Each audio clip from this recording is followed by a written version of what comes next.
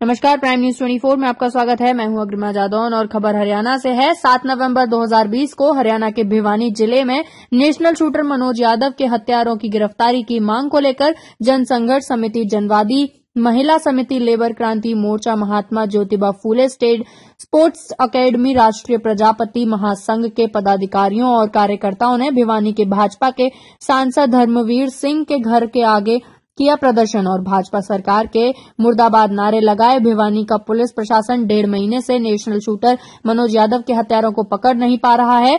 सभी संगठन के पदाधिकारी और कार्यकर्ताओं ने मनोज यादव की पाँचों बहनों को इंसाफ दो के नारे लगाए और कहा, जब तक मनोज यादव के हत्यारे पकड़े नहीं जाएँगे, तब तक हम संघर्ष करते रहेंगे। और प्रदर्शन धरना करते रहेंगे। धरना प्रदर्शन के मुख्य रूप से भारतीय सेना के भूतपूर्व सैनिक तेज बहादुर यादव भी शामिल रहे और तेज बहादुर यादव जी ने कहा, अगर मनोज यादव को इंसाफ नहीं मिला तो हम राष्ट्रीय स्तर पर भी प्रदर्शन करेंगे और हर हाल में मनोज यादव की पाँच बहनों को न्याय दिलाकर रहेंगे। प्राइम न्यूज़ 24 के लिए रोहतक मंडल bureau chief prime news 24 Sonu Prajapati की रिपोर्ट।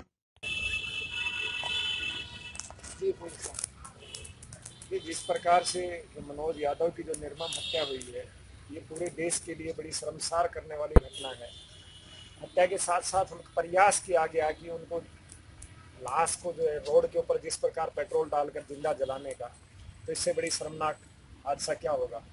लेकिन यहाँ के जितने जो सामाजिक संगठन हैं, सभी ने एकजुटता दिखा के जो प्रयास किया है, हमें पूर्ण विश्वास है कि परिवार को न्याय ज़रूर मिलेगा। इस प्रकार से आज सांसद जी के घर का घेराव किया।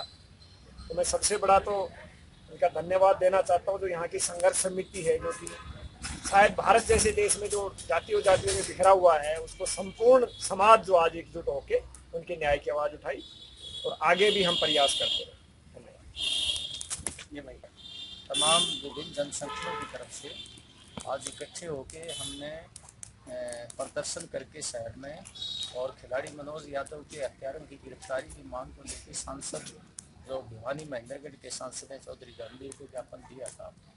और उन्होंने डीजीपी मनोज यादव से बात की है डायरेक्ट। बीच साहब का फ़ोन नहीं मिला, वो ट्राई कर रहे थे। लेकिन मनोज यादव जी ने वो ये आश्वासन दिया है, जो उन्होंने बताया ने कि हम दिवाली से पहले अपराधियों को गिरफ़्तार कर लें हम लगातार एक महीना हो गया इस आंदोलन को चलाए हुए। वो अकेला भाई था पाँच महीनों का।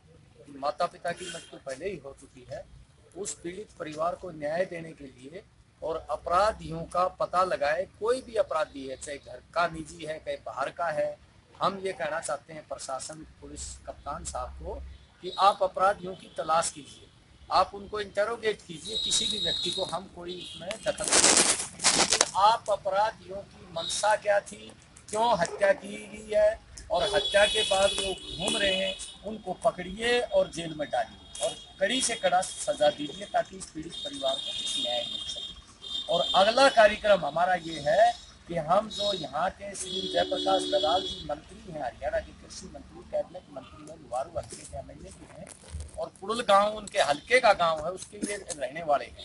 तो उनके पास जाएँगे और उनसे कहेंगे कि आप कैबिनेट मंत्री हो और हमारे खिलाड़ी का यहाँ हत्या हो गई, आप उसको तलाशने में क्या कर रहे हो?